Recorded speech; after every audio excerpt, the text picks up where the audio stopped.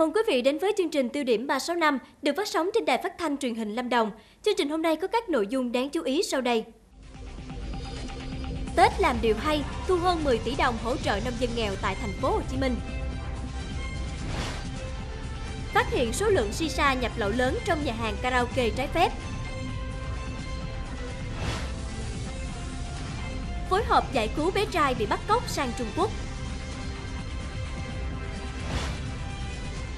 Chân dung người làm trẻ hóa giống cúc Đà Lạt.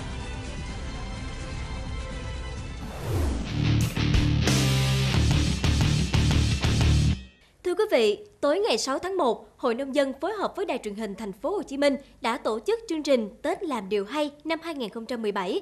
Đây là chương trình thường niên thể hiện truyền thống đoàn kết, tinh thần tương thân tương ái, chia sẻ với nông dân có hoàn cảnh khó khăn trên địa bàn thành phố. Chương trình Tết làm điều hay Xuân Đinh Dậu 2017 đã vận động được hơn 10 tỷ đồng, hỗ trợ nông dân có hoàn cảnh khó khăn khoảng 1.500 phần quà Tết, tặng 1.500 suất học bổng lương định của cho con hội viên nông dân nghèo. So với các năm trước, chương trình năm nay có nhiều nét mới nổi bật hơn và ngày càng khẳng định được vai trò của mình đối với những người nông dân trên địa bàn thành phố. Năm 2017 này thì chúng tôi à, tiếp tục cái chương trình nhưng nó có những cái mới đó là chúng tôi tăng cường hơn cái việc là tổ chức để cho người nông dân À, có được những điều kiện để tổ chức cái à, tham gia sản xuất, tăng thêm thu nhập, à, góp phần giảm nghèo và tăng hộ khá trong cái chương trình giảm nghèo bền vững. Qua cái chương trình này thì các câu lạc bộ nông dân giỏi đã đóng góp và sẽ thực hiện các công trình nông dân giúp những nông dân vượt nghèo bằng cái những công trình thiết thực. Chương trình Tết làm điều hay đã được tổ chức qua 8 năm với tổng kinh phí vận động hơn 62 tỷ đồng và đã có hơn 10.000 nông dân được hỗ trợ từ chương trình. Qua mỗi năm, chương trình đều có sự thay đổi cả về chất và lượng nhằm đem đến thêm nhiều niềm vui cho những người nông dân có hoàn cảnh khó khăn, đặc biệt vào mỗi dịp Tết đến xuân về, thể hiện truyền thống đoàn kết, tinh thần tương thân tương ái của người dân. Vào sáng sớm thứ sáu hàng tuần, các chiến sĩ công an phường Tam Phú, quận Thủ Đức, thành phố Hồ Chí Minh lại chở những thùng cháo đến bệnh viện quận Thủ Đức để phát miễn phí cho bệnh nhân, người dân nghèo. Hoạt động thiện nguyện này nhận được sự ủng hộ của đông đảo người dân và hình ảnh những chiến sĩ công an trở nên thật gần gũi và cao đẹp. Cứ mỗi chiều thứ năm, các chiến sĩ công an phường Tâm Phú, quận Thủ Đức, thành phố Hồ Chí Minh lại chuẩn bị những nguyên liệu để nấu cháo mang đến đặt trước sân bệnh viện quận Thủ Đức vào sáng hôm sau. Các anh phân công người múc cháo vào ly, người đóng nắp vào bịch rồi treo lên móc. Thậm chí các chiến sĩ công an còn mang cháo lên tận phòng đối với các trường hợp khó khăn. Được biết, Trung tá Nguyễn Văn Tài là người đã khởi xướng hoạt động thùng cháo từ thiện này, với hy vọng có thể giảm bớt phần nào khổ cực của người bệnh tại đây. Khi đến bệnh viện thì chúng tôi thấy rằng à, những người à, thăm nom bệnh viện, kể cả bệnh nhân bệnh viện, nhiều người gặp nhiều khó khăn. Khi muốn có một bữa cháo để ăn để mà chữa bệnh thì không có, cho nên có phát động từ đây thì ban chỉ huy công an phường cùng với đơn vị để vận động anh em để đóng tiền để chia sẻ nỗi đau của những khó khăn của nhân dân đến bệnh viện này. Với hành động thiết thực, người dân sẽ khó mà quên được tấm lòng ấm áp vì nhân dân của các chiến sĩ công an phường Tam Phú, quận Thủ Đức. Thưa quý vị, các đợt mưa lũ liên tiếp và bão ngoài khơi thời gian gần đây đã làm triều cường dâng cao, khiến cho kè chắn sóng ven biển Sa Huỳnh ở thôn Thạch Bi 2, xã Phổ Thạnh, huyện Đức Phổ, tỉnh Quảng Ngãi bị sóng đánh vỡ nghiêm trọng. Bờ kè chắn sóng Sa Huỳnh bị sóng đánh hư hại khoảng 300 m, trong đó có 10 m bị hư hại nặng với nhiều khối bê tông vỡ ra ngổn ngang, khiến cho con đường Sa Huỳnh đi Phổ Châu dọc theo bờ kè cũng bị hư hỏng. Nhiều đoạn đường bị sóng luồn vào bên trong, kéo trôi hàng trăm mét khối đất đá khiến nền đường bị ăn sâu từ 2 đến 3 mét, gây nguy hiểm cho việc đi lại. Để ngăn chặn sóng biển tiếp tục làm kè bị hư hại, Ủy ban nhân dân huyện Đức Phổ đã tạm ứng ngân sách khoảng 500 triệu đồng và đang tiến hành gia cố tạm thời bằng các bao tải cát và đổ đá. Đồng thời có văn bản đề nghị tỉnh đưa sự cố này vào diện khẩn cấp để có phương án hỗ trợ kinh phí sửa chữa. Tại 6 tỉnh miền Trung, dự án phát triển ngành lâm nghiệp đang được thực hiện từ năm 2005 đến nay đã là hướng đi mới cho người dân sống dựa vào rừng. Riêng tại Quế, dự án hỗ trợ cho trên 9.300 hộ gia đình với diện tích gần 13.800 hecta. Các hộ dân được hướng dẫn kỹ thuật, thông tin thị trường về sản phẩm, hỗ trợ giao đất, cấp giấy chứng nhận quyền sử dụng đất lâm nghiệp và hỗ trợ dây vốn sản xuất. Đặc biệt, việc cấp chứng chỉ rừng cho hộ dân đã hạn chế tình trạng khai thác khi gỗ chưa đến kỳ. Giá trị của gỗ cao hơn nhiều lần, độ ra sản phẩm được đảm bảo, thu nhập trên một hecta rừng tăng gấp 3 tới 4 lần so với trước đó. Nằm trong chuỗi các hoạt động của tuần lễ du lịch Đồng Tháp 2017, sáng ngày 7 tháng 1 năm 2017, tại công viên Sa Đéc, lễ hội đường phố đã chính thức được khai mạc, phục vụ nhu cầu tham quan giải trí của người dân đại hội có sự tham gia biểu diễn của trên 500 nghệ sĩ, diễn viên, đoàn viên thanh niên và sinh viên, học sinh đến từ các câu lạc bộ trong và ngoài tỉnh Đồng Tháp với rất nhiều hoạt động phong phú hấp dẫn như biểu diễn lân sư rồng, võ thuật, múa nghệ thuật, siết ảo thuật, biểu diễn trống kèn, Trượt patin nghệ thuật cùng với nhiều điệu múa đặc sắc như múa mâm, múa Khmer, múa nón, múa carnival, vũ điệu cồng chiên, tung hứng, nhảy hip hop và các trò chơi dân gian. Hoạt động lễ hội đường phố tại thành phố Sa Đéc diễn ra từ ngày 7 tháng 1 đến ngày 13 tháng 1 năm 2016. Ngay ngày đầu khai mạc đã có hàng trăm người dân đến xem, cổ vũ và chụp ảnh. Để kịp khai trương đường hoa Nguyễn Huệ Tết Đinh Dậu vào ngày 25 tháng 1 năm 2017, tức 28 tháng Chạp tới, những ngày này, các nghệ nhân đang khẩn trương hoàn thành các linh vật và tiểu cảnh cho kịp tiến độ. Lấy ý tưởng từ chủ đề thành phố mang tên Bác, khát vọng ngời sáng, đường qua năm nay sẽ ứng dụng nhiều công nghệ mới, đang xen giữa động và tĩnh, giữa âm thanh và ánh sáng, giữa truyền thống và hiện đại. Có khoảng 180 loại hoa được trưng bày, gần gấp đôi so với mọi năm. Đặc biệt, biểu tượng linh vật của năm Đinh Dậu là đại cảnh xuân sum họp với gia đình gà, có 17 thành viên tượng trưng cho năm 2017. Các công đoạn chuẩn bị đến nay đã đạt trên 80%. Nhân dịp chào đón năm con gà Đinh Dậu 2017, sáng ngày 7 tháng 1 năm 2017, họa sĩ Giang Phong cùng nhóm các nhiếp ảnh gia nhóm bạn tuổi gà 1969 đã có buổi triển lãm giới thiệu các tác phẩm mang chủ đề Dậu đến công chúng. Nổi bật nhất là 12 tác phẩm về con gà của họa sĩ Giang Phong. Phần lớn các bức tranh vẽ con gà trống, trong đó tác giả diễn đạt nhiều loại gà khác nhau như gà điều, gà tre lai tộc, gà lưng phượng, gà mía, gà đông tảo, gà nòi. Những con gà của họa sĩ Giang Phong, sắc màu tươi tắn, sống động, được những người yêu hội họa đánh giá cao vì sự tinh tế và nghệ thuật trong từng bức tranh. Gà thì là một cái ờ, một cái biểu tượng của truyền thống ờ, phương Đông và phương Tây. Con gà là biểu tượng của nhà nông mà, cho nên ờ, nó có một cái gì đó rất tinh tế và may mắn. Nên mình vẽ gà mục đích cũng để truyền tải cái thông điệp đến mọi người là một năm mới đầy may mắn và hạnh phúc. Họa sĩ Giang Phong cho biết, những bức tranh gà này được vẽ trong thời gian 3 tháng gần đây. Họa sĩ mong muốn những bức tranh gà của mình sẽ đem đến một lời chúc tụng và ước vọng cho một năm may mắn. Quảng Bình với hơn 300 hang động lớn nhỏ có giá trị hàng đầu thế giới, luôn là điểm đến hấp dẫn du khách trong nước và nước ngoài với loại hình du lịch khám phá hang động. Hiện ngoài các tuyến du lịch đặc biệt như khám phá sơn đòn và các loại hình du lịch mạo hiểm, khám phá hang động, leo núi, đi bộ, vượt thác trong rừng, tỉnh Quảng Bình cũng hỗ trợ các doanh nghiệp du lịch khai thác tuyến điểm mới, hang pa, hang nước nước, tuyến thung lũng sinh tồn xuyên hang tối. Khai thác du lịch nhưng luôn coi trọng việc bảo tồn các giá trị thiên nhiên đã và đang tạo nên uy tín và thành công của du lịch hang động tại Quảng Bình. Vừa qua, trang CNN của Mỹ đã công bố danh sách những món ăn đường phố đáng thưởng nhất thế giới năm 2017, trong đó có món bánh xèo của Việt Nam. Bánh xèo có lớp vỏ ngoài giòn, mỏng tan, được chiên trong chảo trên than hồng, Bên trong là lớp nhân làm từ thịt heo, tôm giá đổ. Điểm đặc biệt làm nên món bánh xèo có miệng là ăn kèm với các loại rau thơm, chấm ngập trong chén nước chấm được pha chế cầu kỳ theo công thức gia truyền. Bánh xèo với những hương vị rất riêng là dấu ấn đậm đà cho mỗi du khách khi thưởng thức món ăn này ở phố phường Việt Nam. Sinh ra và lớn lên trong một gia đình có truyền thống năm đời làm kẹo tại Tây Ban Nha, chàng trai Victor Sino Sapo đã sớm bén duyên với nghề làm kẹo. Đến Việt Nam hơn 3 năm, Victor ngày đêm thăm dò khẩu vị và thị hiếu kẹo của người Việt Nam. Để tạo ra một loại kẹo handmade, sử dụng nguyên liệu 100% tự nhiên. Nguyên liệu chính của những viên kẹo này chiết xuất hoàn toàn từ mật bía, thảo dược, các nguyên liệu thiên nhiên như nghệ, mật ong, hoa artiso đỏ, dừa và vỏ chanh. Một ngày, Victor xuất xưởng khoảng 200 đến 300 cây kẹo hữu cơ. Trong tương lai, Victor sẽ sử dụng các căn Việt Nam để sản xuất ra một loại sô-cô-la riêng của người Việt.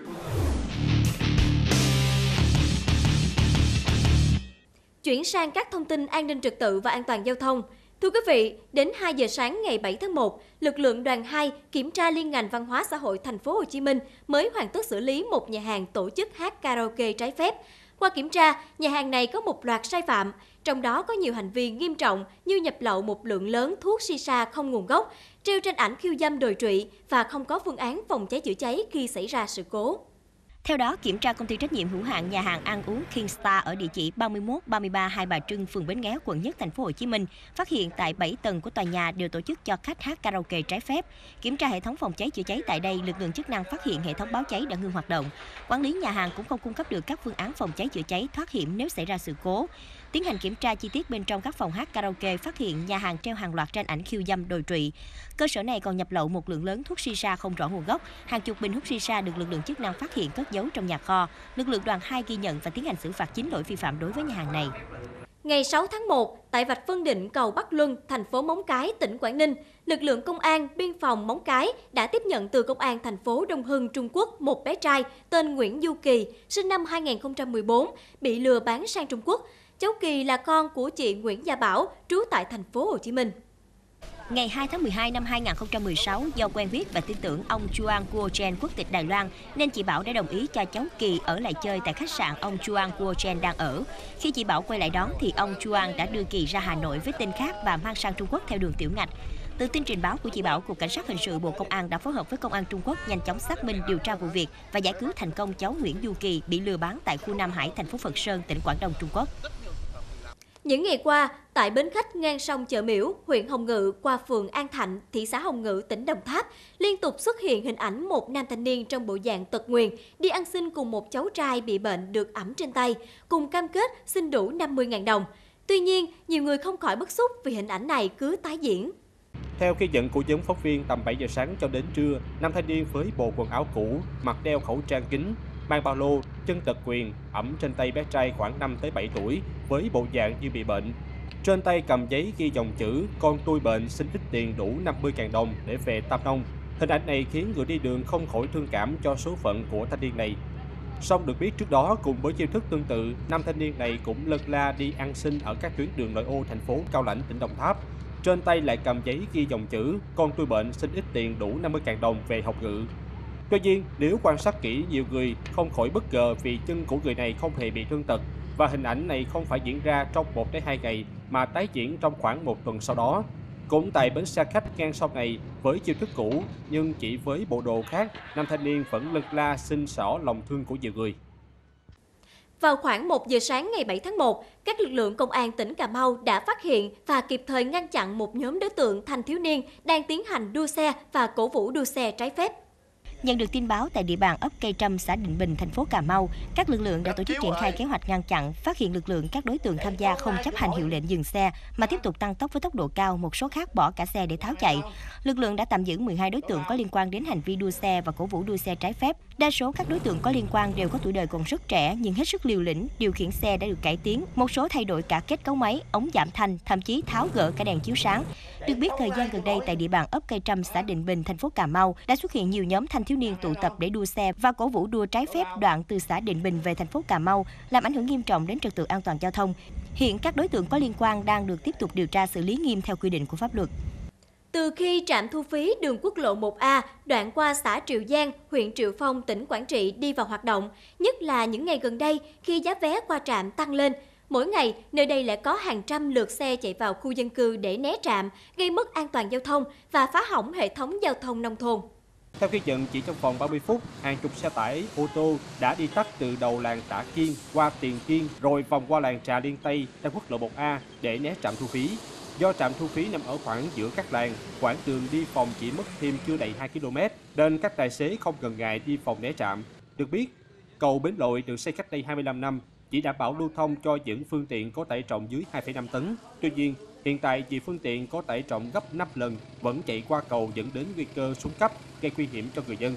Lượng xe mà chạy qua địa bàn là bình quân một ngày là từ 300 đến 400 chiếc một ngày. Nhưng mà từ đầu năm 2017 đến nay, cái trạm thu phí nâng giá lên. Do vậy cái lượng xe bây giờ là lên 800 đến 900 chiếc mỗi ngày. Với cái lưu lượng như thế này là cái sức cầu bên lồi xây dựng từ năm 1991 92 thì vốn này do nhân dân đóng góp. Với cái công tin chất lượng á, là từ nhân dân xây dựng không qua cái kiến trúc giám sát của đơn vị nào.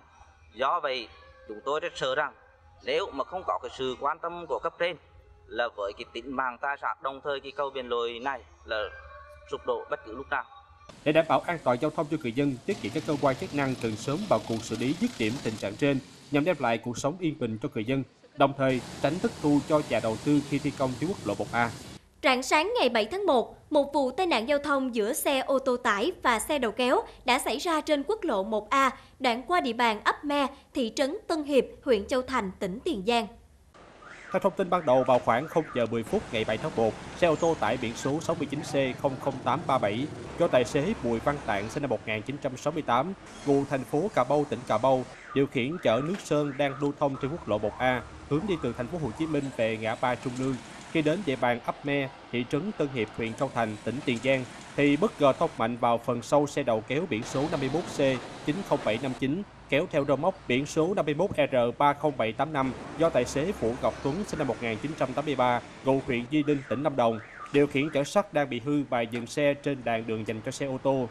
Sức tốc mạnh làm phần đầu xe tải biến dạng, nước sơn từ trên xe tải đổ tràn xuống mặt đường. Trong lúc tài xế trên xe tải bước xuống đường để vào lề, thì phần cabin xe tải bốc khói và lửa bùng cháy.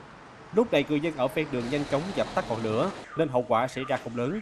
Thì vụ việc đang được cơ quan chức năng tiếp tục điều tra làm rõ.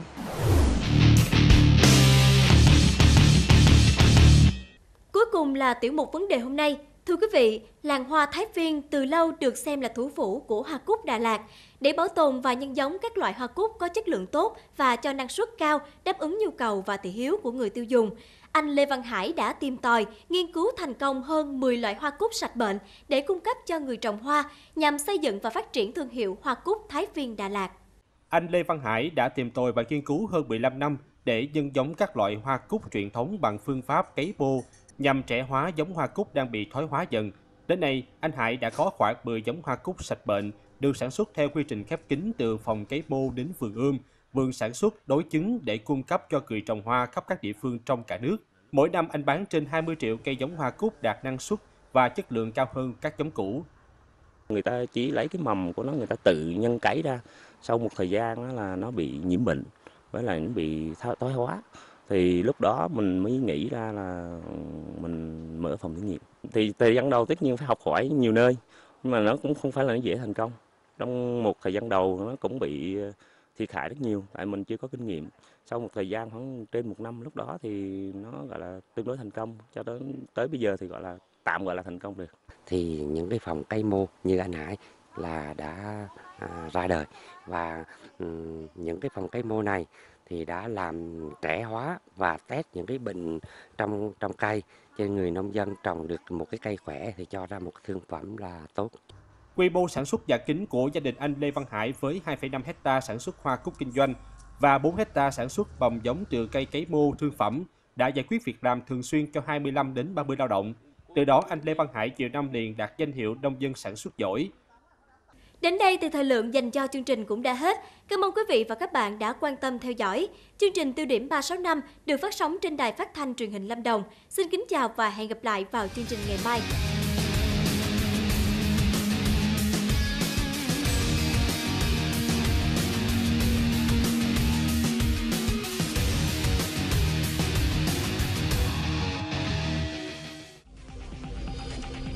Lâm Đồng hấp dẫn tour du lịch chèo thuyền ngắm lá phong trên hồ Tuyền Lâm. Thành phố Hồ Chí Minh cần cẩu đổ trước nhà dân khiến cho một người bị thương. Đồng Tháp cháy lớn thiêu rụi nhà kho chứa gỗ, thiệt hại gần 3 tỷ đồng. Lâm Đồng triển vọng từ giống khoai tây sạch bệnh cho nông dân